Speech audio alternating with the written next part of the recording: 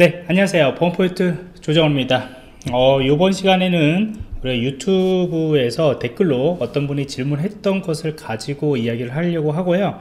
어, 제목에 어, 써져 있듯이 보안관제 업무 취업을 위한 어, 프로젝트 준비는 한마디로 이제 취업을 위해서 뭔가 포트폴리오를 만들려고 하는데 어떤 거를 만들면 좋을지 어떤 방향으로 좀 만들면 좋을지 어떤 능력들을 보고 있는지에 대해서 이야기를 해보려고 합니다 어, 요 영상에서 이야기하는 것들은 이전에 제가 올렸던 영상들 분명히 하나씩 하나씩은 다 이야기를 했던 내용들이었었어요.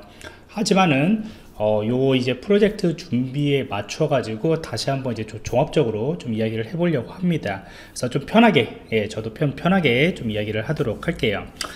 우선은 여러분들이 뭐 보안관제뿐만 아니고 모이해킹을 하던 아니면 여러분들이 보안 담당자를 하던 제일 중요한 것은 이제 인프라를 여러분들이 이해하는 겁니다. 인프라라는 것은 여러분들이 서비스를 이용을 하는데 필요한 자원들의 모음이에요. 이게 어떤 보안 장비들이 있을 거고 기본적인 어, 어떤 라우터나 스위치 그런 네트워크 장비들도 있을 거고요. 그 다음에 그 이외에 그 이외에 이제 방화벽이나 IPS, IDS 침입 탐지, 침입 차단 시스템들이죠. 그 다음에 이제 웹 방화벽들 이런 것들이 다 이제 있습니다. 이런 구성들이 다 되어 있어요. 그래서 여러분들은 어떤 홈페이지 아니면은 뭐 네이버닷컴 아니면 다음닷컴, 다음닷넷 이런 데에다 접속을 하고 있지만은 요거에서 이제 운영되기 위해서는 이제 다양한 어, 내부적으로 많은 서버들을 가지고 있고 서로 연결이 되어 있습니다. 그 다음에 요 서버들을 관리하고 있는 담당자들이 있는 업무망들도 있겠죠. 그래서 요것들이 외부에서 다 접근되지는 않을 거고 다 이제 각각의 존마다 구성이 되어 있고 분리가 되어 있습니다. 그래서 요거보다 더 복잡해요 사실이요. 그래서 요거는 이제 제가 교육을 할 때 보통 사용하는 그런 인프라 구조인 것이고 여러분들도 만약 보안관제 쪽이나 침해 사고 대응 쪽으로 여러분 가신다면은 요거에 대해서는 기본적으로 이런 구조들을 이해를 하셔야 하는 겁니다. 그래서 요 안에 들어가고 있는 들어가 있는 그런 보안 장비들의 역할들도 여러분들이 공부를 하셔야 하는 것이고요. 더 좋은 것은 이제 뭐 가상 환경에다가 구축을 하시던 아니면 실제 뭐 서버에다 구축을 하시던 아무튼 뭐 보통 이제 가상 환경들을 많이 이제 추천을 하고 있고 또 이미지들이 있기 때문에 그쪽으로 이제 주, 그 구축을 하게 되는 건데 이런 가상 환경들을 이용해서 한 번쯤은 예, 구축을 해 보시라고 저는 권고를 드립니다 어, 뒤에서 이제 제가 그 관련된 책들은 예, 소개를 드리도록 할게요. 그래서 이런 식으로 이제 샘플로 구성을 한 것이고요. 보통 이제 제가 K실드 강의를 한다거나 아니면 외부에 이제 모이킹 실무 강의를 할 때는 이런 구조들을 구성한 상태에서 이제 진행을 하게 되는 거예요. 그래서 어, 침입자가 이게 들어올 때 DMZ 구간에 있는 웹서버에 접속을 하게 되는 것이고요.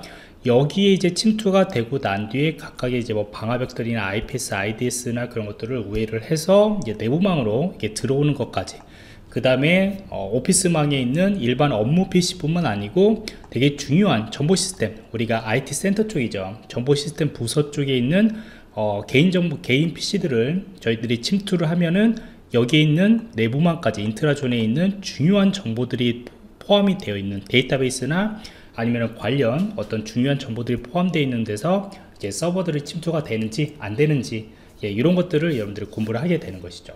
그래서 중요한 것은 인프라에 대한 구조들 요거는 앞에서 제가 계속 강조를 했고 그 다음에 두 번째는 각각에 대해서 각 인프라별로 공격들이 들어오는 그런 공격 패턴들에 대해서도 여러분들이 이해를 하는 겁니다. 그때는 보안관제 업무를 하신다는 것은 뭐냐면은 가까이 들어오는 다양한 이벤트들을 보기 때문에 기본적인 웹해킹 공격부터 시작해서 디도스 공격이나 그런 여러가지 공격 유형들 그 다음에 뭐 나중에 침해 사고 분석 쪽하고 이제 업무 role이 어떻게 될지는 모릅니다.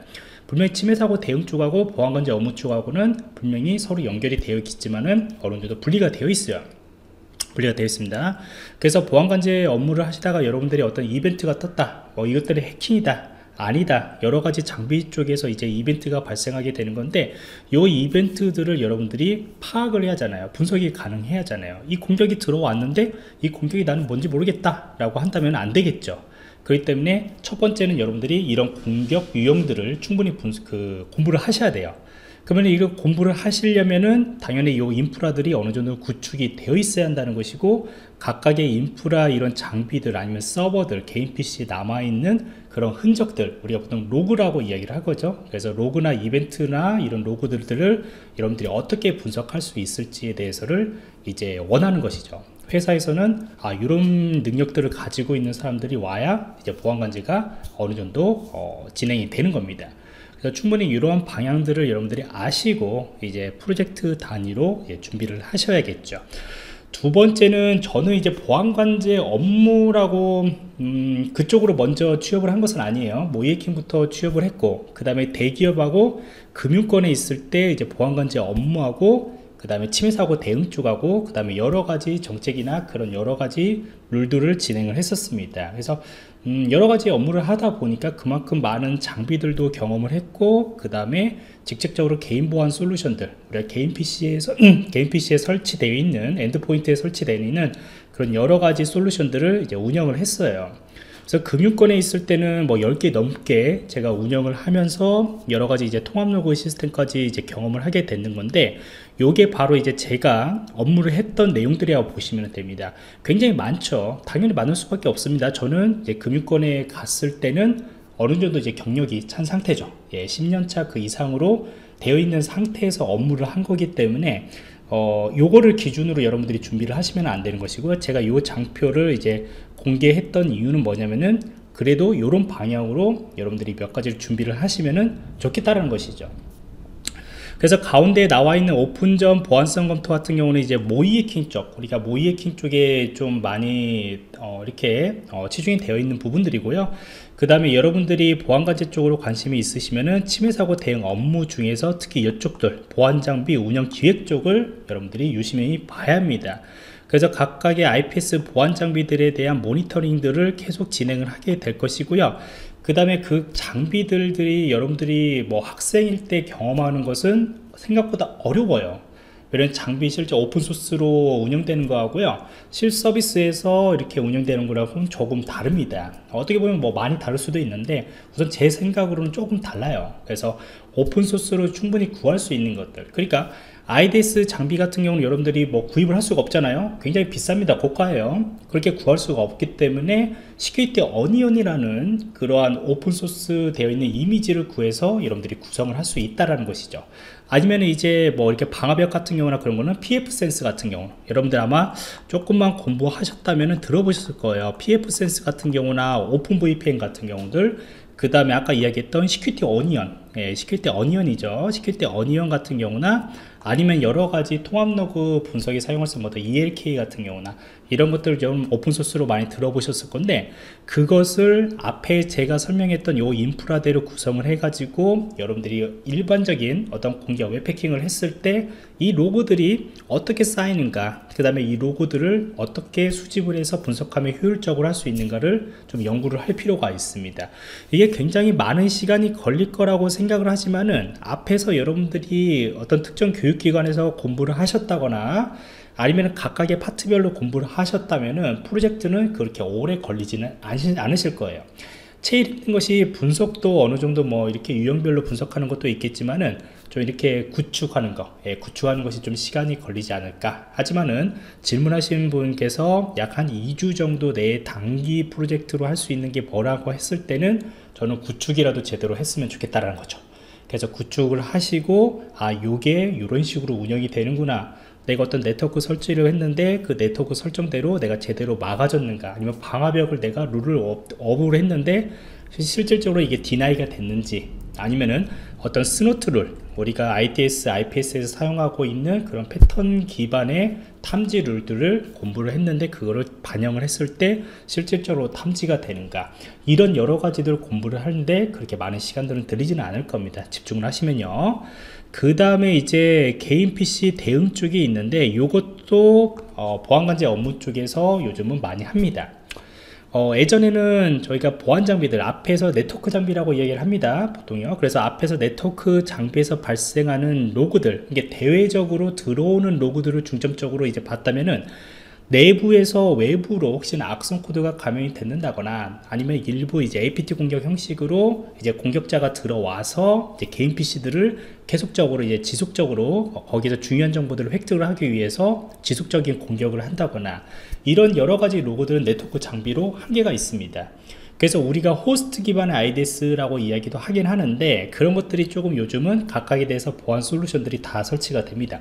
그래서 여러분들이 어떤 업무를 하든 모든 것들은 다 로그가 쌓이게 돼 있어요. 어디에 접속을 하던 어떤 문서를 열었던 어떤 문서를 암호화를 했던 풀었던 그런 정보들이 이 솔루션에 로그들이 다 남아 있습니다 그래서 DRM 뭐 DLP web shell 차단 솔루션이나 이런 서버 접근 통제 시스템 로그 통합 관리 시스템 뭐 zero-day 취약점 분석 같은 경우는 어, 우리가 보통 APT 공격 그런 대응 시스템이나 그런 것들이 여러 가지가 있거든요 그래서 여러분들이 그냥 들어본 거 이외에도 어, 실제 실무에서 사용하고 있는 그런 여러 가지 장비들이 생각보다 많습니다. 그리고 계속 더해지고 있어요 최근은 뭐 AI 기반 같은 거나 머신러닝 기반의 그런 솔루션들이나 URL 탐지, 악성 코드 URL 탐지, 도메인 뭐 탐지 그런 솔루션이나 그런 여러 가지들이 있는데 뭐 도입이라는 것은 뭐 매년마다 뭐 이렇게 돈이 있으면은 도입을 하기 때문에 계속 더해지면 더해지 잘 빼지진 않아요. 그러다 보니까 이제 쌓이게 되는 것이고 이렇게 솔루션들을 많이 경험을 하시게 될 겁니다. 그렇기 때문에 그이 솔루션들을 많이 여러분들이 직접적으로나 간접적으로 경험할 수 있는 데가 바로 이제 보안관제 업무 쪽으로 하시면은 많이 경험을 하시게 될 것이고 요거에 대한 것들에 대해서도 여러분들이 솔루션에 대해서도 이해를 어느 정도 하셔야 합니다. 그게 중요하죠. 외부에서 대외적으로 들어오는 그런 공격이 당연히 중요해요. 웹패킹이나 그런 것들은 끊임없이 24시간 내내 들어오기 때문에. 하지만은 내부에서 또 외부로 나가는 그런 정보들도 많이 있다. 생각보다 많이 있다라는 거 여러분들 익혀두시면 됩니다. 그래서 이 표만 여러분들 하나 딱 익혀두시고 아 여기에서 솔루션들이 다 이렇게 있기 때문에 한번 찾으시면서 이제 뭐 이렇게 면접이나 그런 거에 좀 대응을 하시면은 좋지 않을까. 예 그렇게 생각을 하게 되는 것이고요. 어, 요 같은 경우에는 이제 보안 분석과의 사이버 침해 사고 분석 전략이라는 책이 있습니다. 어, 어, 저는 굉장히 추천합니다 어, 많이 추천을 하는데 바로 뒤쪽에 보시면은 요 책이에요. 요 책이고요. 그 다음에 아까 인프라를 구축하는데 어떤 책이 좋냐고 했을 때 인프라 보안이라는 요 책이 좋습니다. 어, 굉장히 좋아요. 그래서 요 두 개 책은 저는 추천을 합니다. 물론 이제 외국에서 있는 여러 가지 뭐 책들도 있지만은 사실 저는 국내 저자분들이 쓴 책을 처음에는 이문자들은 읽으라고 이야기를 하고 싶어요 왜냐면 외국책 같은 거는 이제 번역이 되다 보니까 이게 조금 안 맞는 경우들도 있어요. 오, 번역도 굉장히 많이 있고요. 읽어도 뭔가 문장이 이해가 안 되는 경우들도 있고 그 다음에 비전문가들이 이제 번역을 하는 경우들은 전혀 이제 다른 방향으로 합니다. 그래서 충분히 그 경험이 풍부한 분들 국내 저자분들의 책을 좀 읽으라고 저는 권고를 드리고 싶어요. 그 중에서 이제 인프라 번하고 요 책이라고 보시면 될 것 같아요. 그래서 오른쪽에 있던 그 책에서 이제 초급 수준의 설명에 대해서 정리를 했습니다. 물론 여기에서는 몇, 몇 개는 이제 공감이 되고 몇 개는 공감이 안 되지만은 충분히 여러분들이 어떤 공부를 해야 하는가에 대해서는 방향은 잡으실 수 있을 거예요 그래서 이 패킷 분석이라는 것은 보통 이제 보안 장비들 아까 IDS, IPS에서 발생하는 것들 그 다음에 거기에 저장되는 그런 패킷들. 그래서 아까 Security Onion이나 그런 오픈소스 도구 같은 경우에는 패킷 정보하고 Snort 룰이나 그 다음에 여러 가지 로그들을 어, 통합해 가지고 여러분들한테 보여주게 합니다. 거기에 이제 ELK라는 것들도 그 이미지 안에 들어가 있기 때문에 ELK는 이제 통합 로그 분석 여러분들 그 PC단에서 발생하는 endpoint 발생하는 것들도 이쪽으로 통합을 해 가지고 분석을 할 수가 있어요. 그래서 꼭 설치를 해 가지고 한번 보시면 좋고요. 그 다음에 이제 로그 분석이라고 한다면은 아까 endpoint단 우리가 서버 쪽이나 PC 쪽에서 예, 저 발생하는 그런 로그들이라고 보시면 되죠. 그래서 시스템 로그 같은 거 애플리케이션 로그 같은 거 그 다음에 웹 로그. 웹 로그가 굉장히 중요하죠. 그래서 웹 로그 분석을 어떻게 하는가? 시스템 로그 같은 거 아니면은 Windows 같은 경우에는 통합 로그인 시스템 로그 같은 것들을 여러분들이 어떻게 분석할 줄 아는가를 어, 공부를 하셔야 하는 겁니다 그 다음에 IDS나 IPS 룰 아까 Snort 룰이라고 이야기를 했죠? 뭐 Snort Suricata 어차피 둘이 어, 거의 비슷한 애고요. 거의 동, 동일합니다. 그 다음에 이제 오픈소스에서 사용하고 있는 그러한 Snort 룰 기반 같은 경우는요 어, 보통 이제 솔루션들 우리가 어, 유료 솔루션이죠? 실무에 사용하고 있는 그러한 상용 솔루션들하고 어, 조금은 다를 수가 있습니다. 그 상용 솔루션에서 조금 살짝 customizing을 하는 경우들도 있는데 그 패턴 하는 방법들은 똑같아요. 그러니까 요거를 공부하시면은 자연스럽게 거기까지 넘어가는 데는 문제는 없을 거라고 생각을 하고요. 그 다음에 아까 pfSense나 그런 걸로 한번 직접 막아보시라고 얘기했죠. 아니면 이제 리눅스에서 기본적으로 되어 있는 아니면 Windows에서 이 endpoint에 있는 iptables 같은 거나 Windows 방화벽 있죠. 예, 그런 것들입니다. 그게 제어 리스트거든요 그래서 그런 방화벽들 네트워크 장비하고 endpoint에서 있는 그런 방화벽들을 어느 정도 이해를 하고 있는가 예, 거기에서도 여러분들 공부를 하시면 됩니다. 나머지는 여러 가지 뭐 이렇게 그 로그들 많이 남는다고 얘기했죠. 아까 DRM, 뭐 DLP, 그 다음에 여러 가지 로그들이 있는데 백신까지 포함을 해서요. 예, 그런 로그들을 보시면 될 것 같습니다. 그래서 요 두 개의 낙하책 제가 소개를 드렸고요. 그 다음에 상단에 이런 패킷 분석 같은 경우는 저가 많이 강조를 했죠. 그래서 패킷 분석은 요 두 개 책과 그 다음에 제 거 어, 강의를 추천합니다. 제 거 강의는 이제 IT 보안을 위한 Wireshark 패킷 분석이 있는데 요거는 인프런이나 아니면 유튜브에 어, 재생 목록으로 있습니다. 어, 꼭 보시기 바랍니다. 예, 큰 도움이 되실 거예요. 그 다음에 책으로 보신다면 요 두 개 책을 저는 추천을 드려요. 첫 번째 책은 이제 우리 국내에 국내 저자분들이 지금 사용한 것인데 여러 가지 유형이나 공격 기법들을 이용해서 공부를 했던 그런 내용들이고요. 그 다음에 오른쪽 같은 경우에도 이전부터 이제 첫 번째에서 이제 세 번째 버전까지 나왔는데 이 와이어샤크를 이용해서 여러 가지 공격 패킷 분석을 어, 잘 설명을 했습니다. 외국 번역책인데도 불구하고 잘 돼 있어요. 그래서 요 두 개를 어, 여러분들 추천을 합니다. 그래서 충분히 요 세 개 정도만 여러분들 공부하신다면은 아마 IT 보안적인 거에서 패킷 분석하는 데는 그렇게 큰 어려움이 없을 겁니다. 앞으로도 실무를 하시는데요. 큰 어려움이 없을 거라고 저는 생각을 합니다. 그 다음에 여러분들이 스노트를 기반으로 해가지고 조금 뭐라고 하냐 입문자부터 이제 활용평까지 사실 요거는 입문자 보기에도 조금 벅찬 것이지만은 어, 충분히 볼 수가 있습니다. ELK를 좀 다룰 수가 있다면요. 근데 더 중요한 것은 이 안에 스노트룰, 각각의 패턴에 대해서 스노트룰을 어떻게 ELK 쪽에 반영을 하는가 예, 그거에 대해서 잘 나온 책이라고 보시면 됩니다. 예전에 한번 제가 추천을 드렸죠.